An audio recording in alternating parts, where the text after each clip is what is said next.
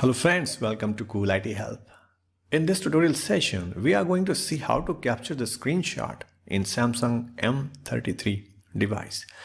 When you drop down the short uh, shortcut panel, then you will find that there's no shortcut icon for capturing the screenshot.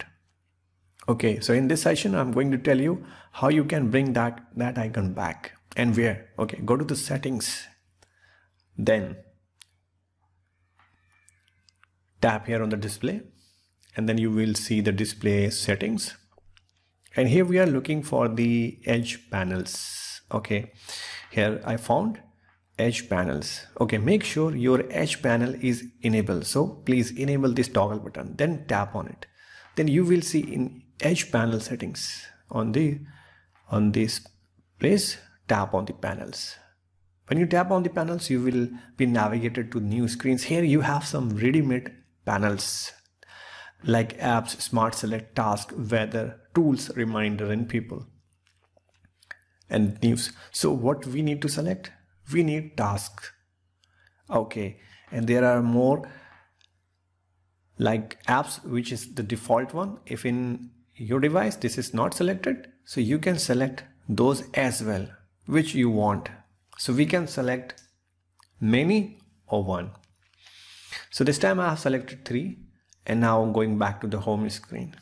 Okay, let's try to take a screenshot of different type of screen. Okay, now I'm going to try to take a screenshot. Okay, so when you slide left little bit, you will see this uh, bar, the panel, and when you navigate through this panel and you will see all different panels one by one. And tap on the second icon.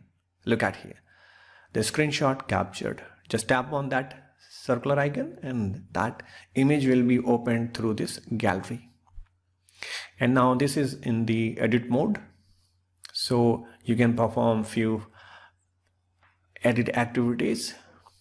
Like you can draw some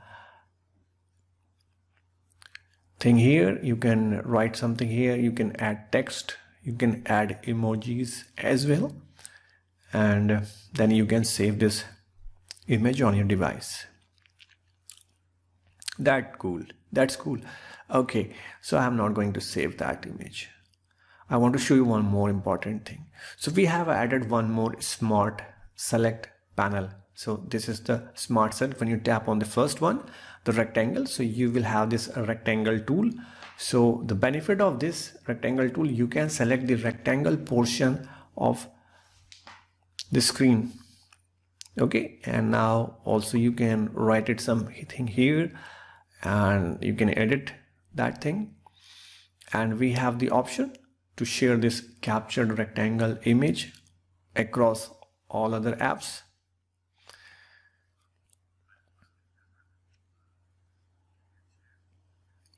okay so all available apps will be displayed here.